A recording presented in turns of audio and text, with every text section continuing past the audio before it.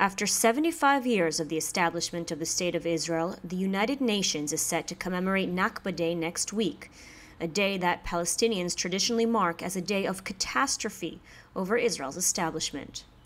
Israel has called on UN member states to boycott the event, the first of its kind in the United Nations.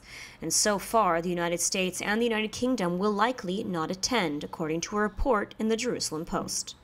On May 15th, immediately after the establishment of the State of Israel, Arab armies attacked the newly founded Jewish state. However, they were unsuccessful, and Israel arose victorious from its war of independence.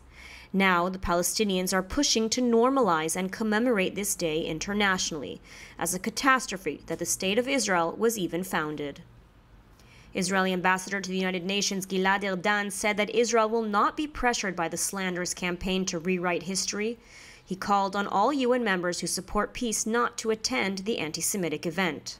And not just in the United Nations, but far left American Palestinian Congresswoman Rashida Tlaib from Michigan will host a Nakba Day event with anti Israel groups in the U.S. Capitol building on Wednesday. The event, titled Nakba 75 and the Palestinian People, aims to paint the Palestinians as victims of what Tlaib deems Israeli apartheid, rather than as the aggressors following the establishment of Israel.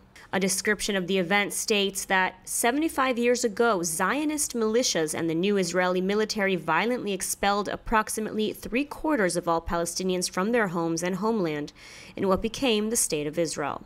This marks the Congresswoman's latest effort to provide a platform for radical and anti Israel organizations, many of which have signed on to co sponsor the event, and in an attempt to rewrite history.